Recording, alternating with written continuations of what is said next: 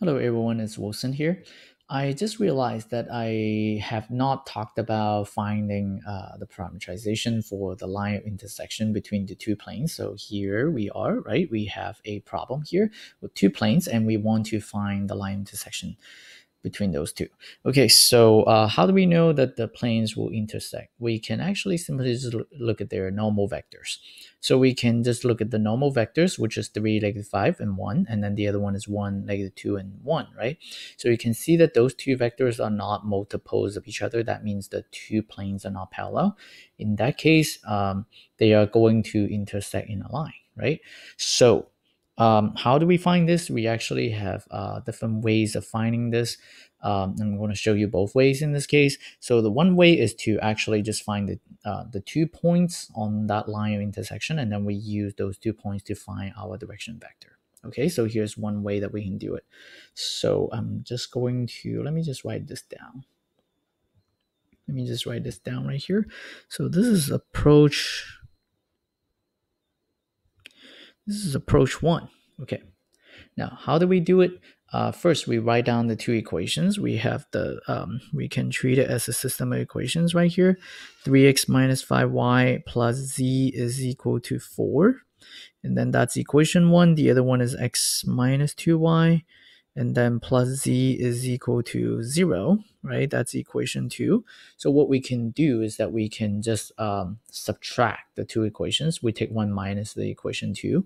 The left-hand side minus the left-hand side, the right-hand side minus the right-hand side, right? So we're going to get 2x and then uh, negative 5 minus negative 2, we get negative 3, right? Okay, so that's a minus. So minus 3y, right? And then the z's will get canceled when you take z minus z. So we are going to get 4. Is that okay? So now what happens is that uh, we have an equation with just two unknowns. So all we need to do is to just start plugging some numbers. We can let we can let y be um, let's just pick an easy number right here because uh, if we let y be zero, right? Then you can see that we have 2x is equal to 4. So x is equal to, that gives us x is equal to 2. Okay, and then once you figure out the 0 and the 2, you can actually plug it back into one of the equations and then we can solve for z. So if we do that to the second equation, then we are going to be getting 2 minus 0 plus z is equal to 0. So that tells us z is equal to negative 2, as you can z c right by solving this z right here moving the 2 over so you get z equals negative 2 so one point that we are going to get right so one point point um this we can just call this uh point a right? There is no variable conflict right? So i don't think so. So point a is what? It's 2 0 and negative 2 so we get 2 0 negative 2 okay? So that's one point.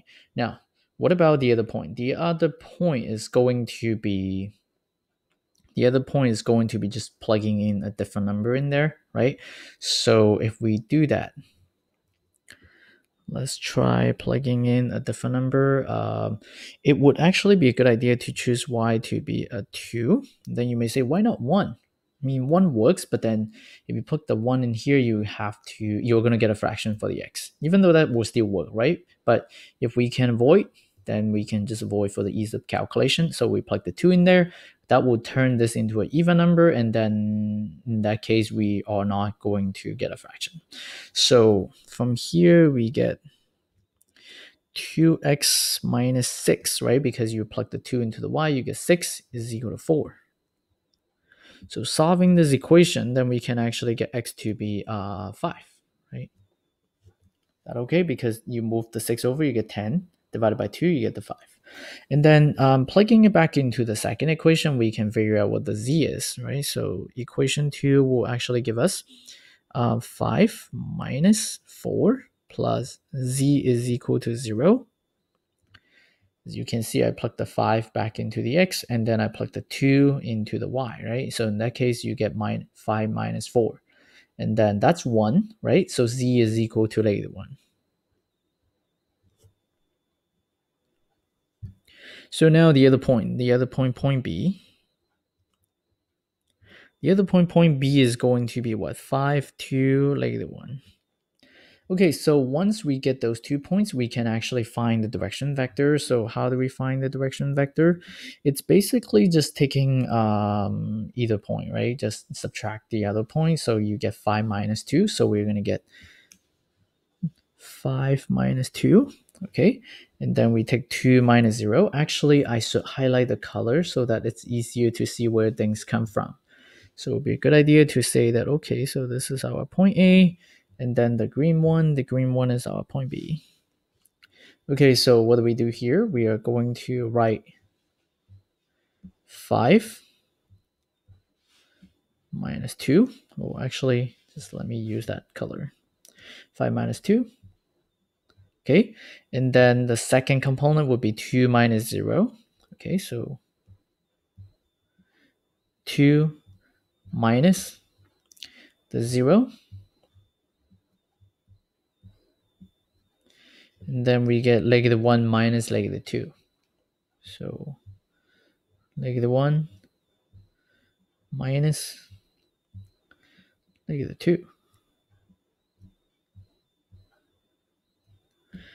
so what do we get here we are going to just do the computation right here so 5 minus 2 is going to be a 3 we're going to get 2 here and then we are going to get 1 here right Like the negative 1 plus 2 negative 1 plus 2 we get the 1 so that's our direction vector and basically, once we get this vector, then we're, um, you can say that we are basically done because we have a point here.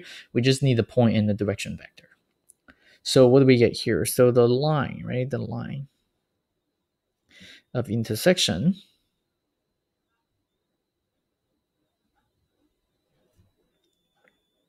Okay, so the line of intersection for this one. So how do we find this? Um, it's actually just r of t equals r naught plus t times v.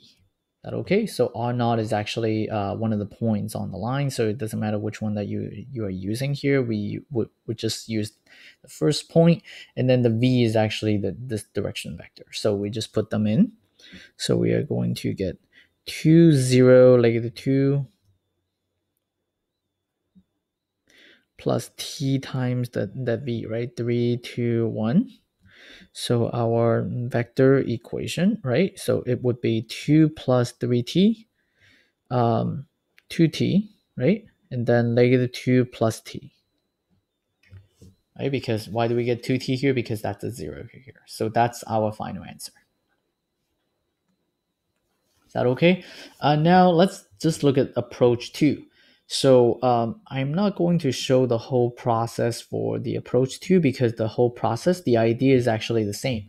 The um, the the key is to actually find the v, right? Then here's another way for finding the v because uh, once you find the v, this it's just going to be the same. So okay, so what do we do? First, we write down the two normal vectors from the planes, right? So we are going to get n1 from the first plane, which is 3, negative 5, and then 1, right? And then n2 is going to be 1, negative 2, and then 1.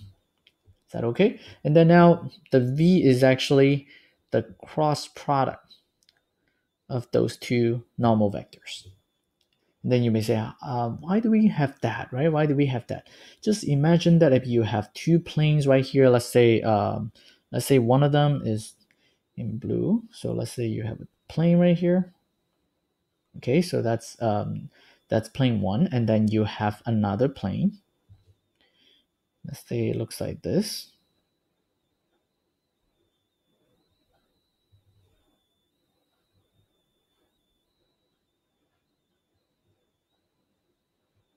right? Do you see what's going on here? If we look at the blue plane, then the normal vector is going to point up like this. And then the, um, the red plane is going to be uh, facing this way. Do you see what's going on here? If we take their cross product, what happens is that we are going to get the vector that's pointing this way. So this is our v. Yeah, so that's the idea here. So that's why crossing them will actually give us a multiple of this one, or maybe the same one yeah so if we do that then what do we get here let's do the calculation here we can we can actually just use that, right? So negative 5 times 1, which is negative 5, minus, well, actually, let's write it down. So negative 5. And then what do we get here?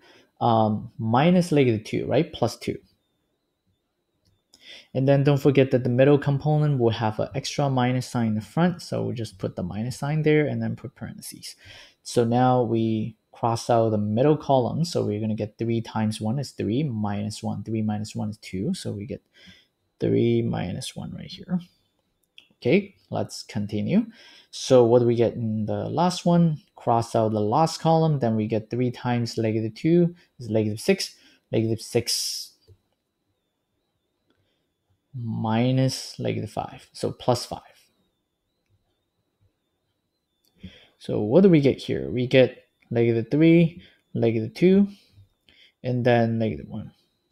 But don't you see that that's actually a multiple of the v, right? Yeah, so um, doesn't matter whether you use that one or use this one because it will just give you the same line, right? Because as the t varies, then doesn't matter as long as those two are multiples of each other.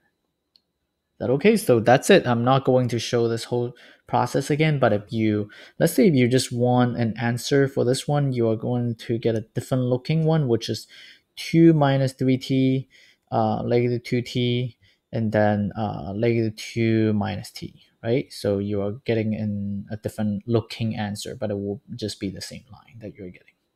Okay, so that's it for this problem.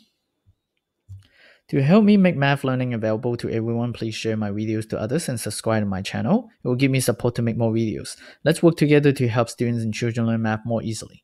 Thank you for watching this